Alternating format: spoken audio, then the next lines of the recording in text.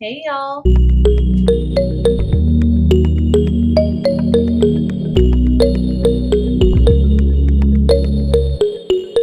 Welcome to my channel. If this is your first time here, I'm Patrice. Thank you for stopping by. And for my returning subscribers, hey y'all, welcome back. So today's video was a request from one of our Crafts and Convos viewers. And if you have never seen Crafts and Convos, join us every Friday night at 7 p.m. Eastern Standard Time, where I craft and converse with y'all, and hopefully you craft with us as well. All right, so this video is about stickers. So I chose to show how I make packaging stickers for my Etsy shops when I ship orders out. And I'm going to walk you all through the basic steps of making these cute stickers for either your packaging or if you want to place these on products, whatever the case may be. All right, so what we will be using today is, of course, Cricut Design Space and also our Cricut Maker 3. We will be using this Koala matte sticker paper or it's inkjet vinyl sticker paper. And we will be using some clear sticker paper from onlinelabels.com. For any of the items that I use, the links will be in the description below.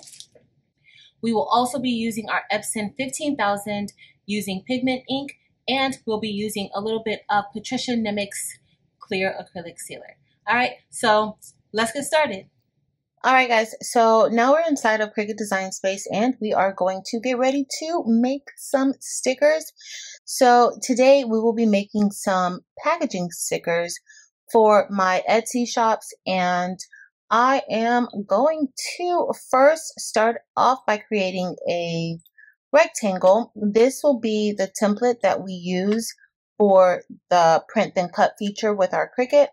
As you guys know, with print and cut, you have to have dimensions of a six and three quarters by nine and a quarter. Okay, so right now we're starting with a square and I need to unlock it. You can unlock it here or you can unlock it up here by pressing that button. So I'm going to go ahead and unlock it. And the width, we want this to be six and three quarters.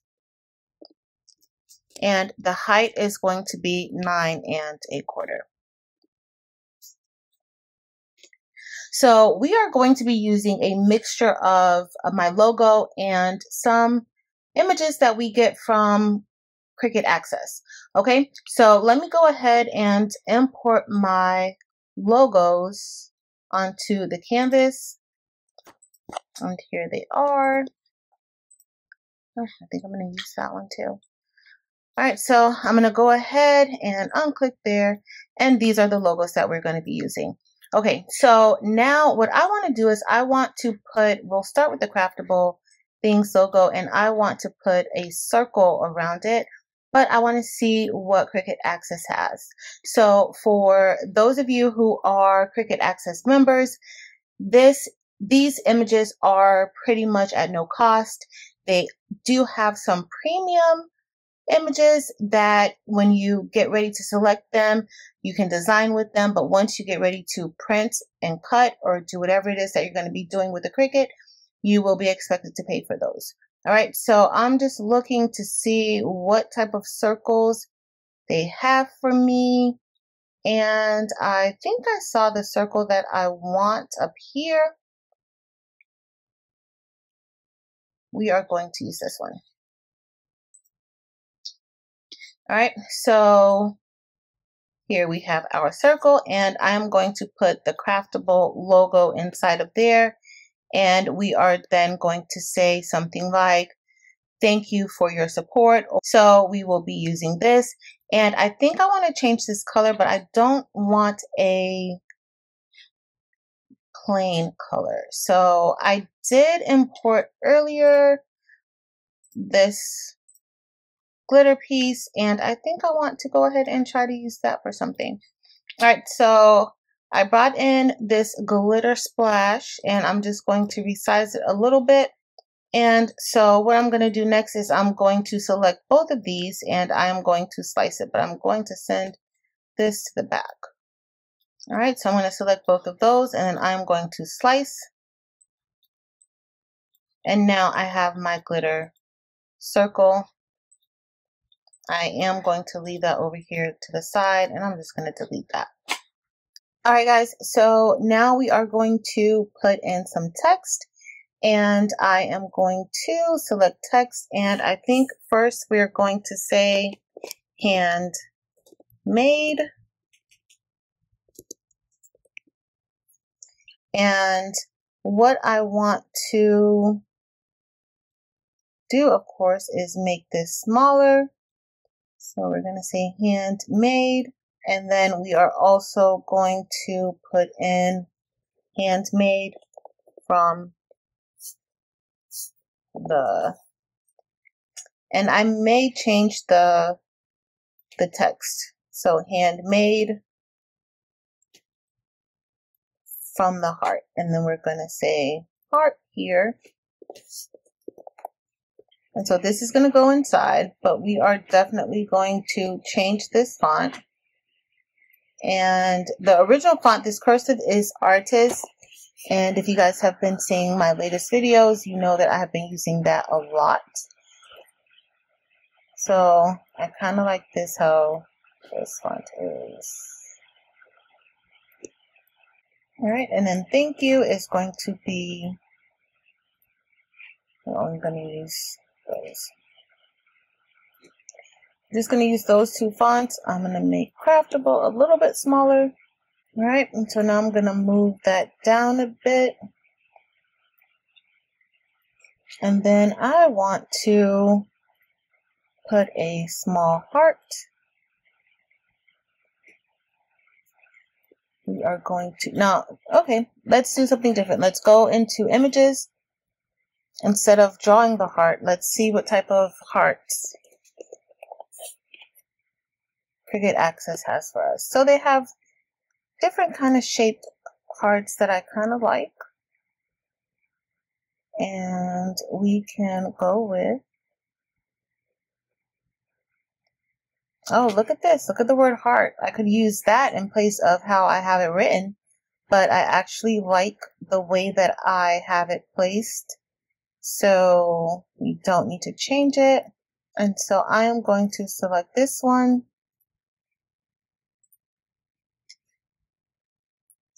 and we are going to make this pink. Let me find a pink that I want to use for here. Alright guys, so I'm going to go ahead and group this together for now. And I want to change this red. As you see, we're kind of limited with colors here. So I sometimes pull color swatches and images from online, kind of similar to how I did the glitter. And we are just going to do the same thing.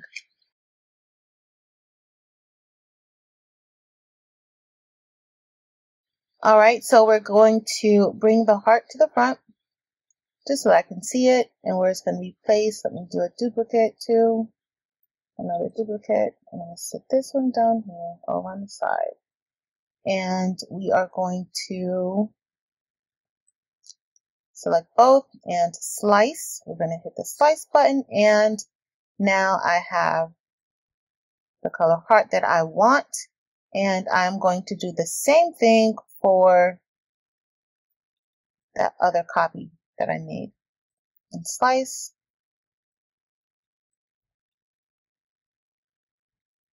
we're done with that and here we have our heart. And so I am just going to kind of make this a little bit smaller, maybe tilt it a bit. Not sure where I want to put it, but maybe here. Yep, I like that. And so, and make it a little bit smaller and tilt it and we are going to put it here. Now, once I did that, I could have just duplicated it and it would have been the same. Alright guys, so this is going to be my packing sticker. Nothing too fancy, but we created this honestly probably within five to 10 minutes. And so I'm going to select this. I am going to group it. All right, y'all. So everything is done. We just need to turn this into a sticker. And right now, this is still a cut file. So what I want to do first is, is I want to create a, uh, an outline or an offset. Now I can go up here and select offset and make an offset, but I want you guys to see what will happen. So this is pretty much making an offset around every individual component of this image, right? So I don't necessarily want to do that. So I'm not going to make an offset. What I'm going to do is I am going to select shapes and make a circle and expand that circle until it fully covers the image. That looks like that's good. I am going to send it to the back. And that looks like that is pretty, pretty good. All right. So with the offset, the offset is more defined. You will, you will uh, go around the arrows and that sort of thing, but I'm not really concerned about doing that for this particular sticker.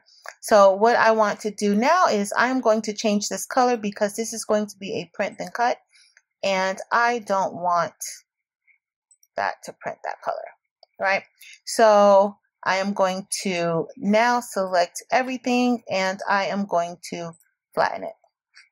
And so now here's our sticker. And so I am going to place this. If we want, we can go ahead I'll hide all of this stuff and then we can go ahead and we can just send this to be cut and printed out. Alright guys, so I am just setting this up so that the stickers are cut exactly how I want them to be cut and I'm resizing them to see how well they will fit on the six and three quarters by nine and a quarter template that I have set up because that's the space needed for Cricut to cut them. Okay, so everything looks very, very good right now. All right, y'all. So everything is lined up the way that I wanted and it looks pretty good. So I am just going to go ahead and hide our square because I don't want that to affect the stickers, how they're cut, and I don't need to really flatten it. All right, so let's go on make it. Okay, and everything is here. And so I am going to click continue. We are going to send this to the printer.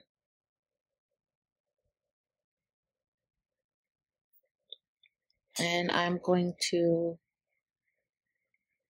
deselect the bleed option. We want to open up that system dialog because we want to adjust those colors and make sure that the paper setting is correct.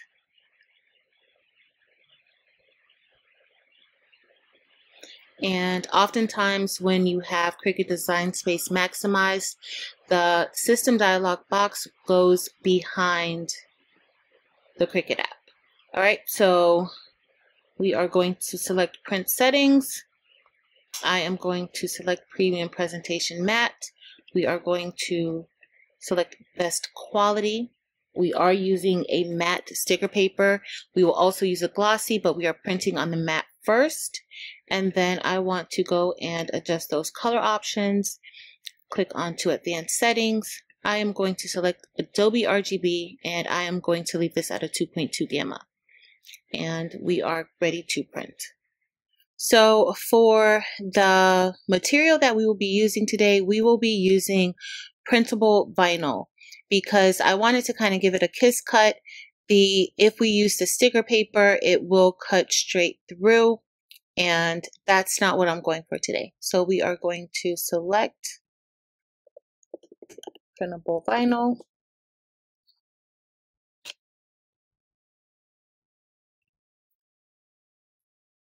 And done. Alright guys, so our stickers are done being printed and we are just going to place this onto our mat. I am using a standard grip mat today.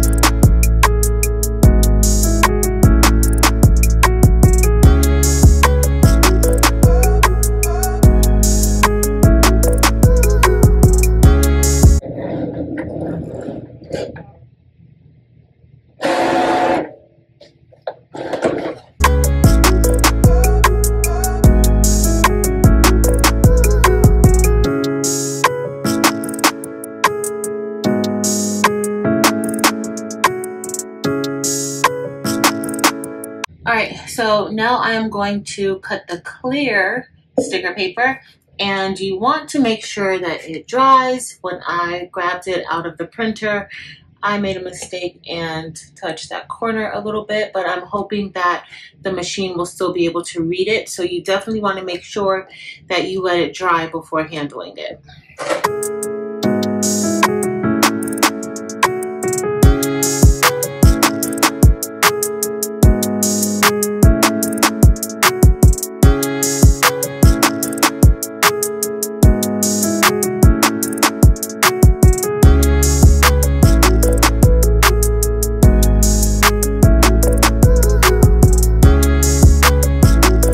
Guys, so we're all done with printing and cutting these quick and easy stickers that we made in Cricut Design Space and we sent to our Cricut Maker.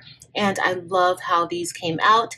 These are the white matte stickers and these are the clear glossy stickers. All right, so you can place these on almost anything because I made these for packaging. I did not seal it with anything. I did spray the clear ones with some clear acrylic sealer and the sealer that I use is Patricia Nimocks' clear acrylic sealer and this works beautifully for me. However, if these were stickers that I had plans on selling, I would definitely put laminate on top of it and to place the laminate on top, what you want to do is you want to make sure you only cover the inset of the square. You don't want that laminate to go on top of the read lines. This is how your Cricut reads your paper and knows exactly where to cut. And sometimes the laminate can throw your machine off and it will not be able to cut it correctly. All right, so let me show you how I will use these. So for the clear stickers, I sometimes put on the bottom of my tumblers and usually with the epoxy tumblers, I'll cover that part with the epoxy and have it sealed underneath. And it goes really really well because once the epoxy is on top you can't even tell any of the cut lines of the sticker. But I love how this came out so if you are sending packages out, you can definitely place stickers like on the bottom in the corner. You can place them on the back and have it go like a nice extra seal. You, you can also use the clear ones especially this the clear ones work really well if you have a colorful package. So that way you won't even be able to tell the white but white on white does not look bad. So I made this white but you can make your offset any color. Your offset doesn't have to be white. I like how the white looks especially when it's kind of shaped around the actual image but you can make your your background any color you want